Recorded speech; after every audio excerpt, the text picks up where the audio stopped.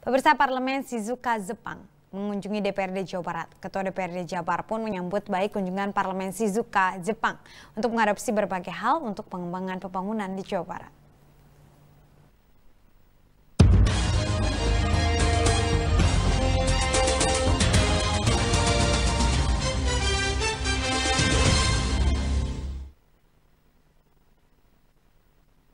Uh, まあ、従いまして、そのビジョンと Pimpinan dan anggota DPR Provinsi Jawa Barat menerima kunjungan kerja dari Parlemen Shizuoka, Jepang di ruang Banmus Gedung DPRD Jawa Barat. Kunjungan kerja Parlemen Shizuoka merupakan kunjungan kerja balasan untuk kunjungan kerja yang telah dilakukan oleh pemerintah provinsi dan anggota DPRD Provinsi Jawa Barat ke Provinsi Shizuoka sebelumnya yang dipimpin oleh mantan Gubernur Jawa Barat Ahmad Heriawan.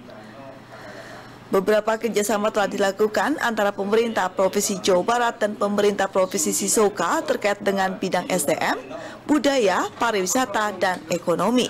Pimpinan Parlemen Sisoka, Kazuhiko Taga, mengatakan terlepas dari sudah adanya MOU yang telah terjalin antara Sisoka dan Jawa Barat, sudah ada 67 perusahaan dari Sisoka yang sudah mendirikan pabrik di Jawa Barat. Taga menambahkan dalam waktu dekat ada beberapa program yang menjadi perhatian dari Sisoka yaitu pertukaran pelajar khususnya untuk pelajar ahli teknologi di Sisoka Jepang.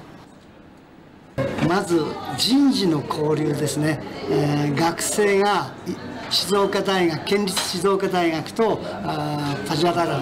パチャジャ大学との学生交流をしたりですねそれから企業間の交流は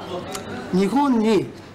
技術の勉強に来てほしいと日本はそういう受け入れ体制がありますのでそういうことがあったらあ日本にぜひ来てほしいとそんなふうに思ってます Ketua DPRD Provinsi Jawa Barat Indah Purwadewi Sundari mengapresiasi kunjungan dari DPRD Sisoka untuk memperkuat kerjasama yang telah dilakukan sebelumnya.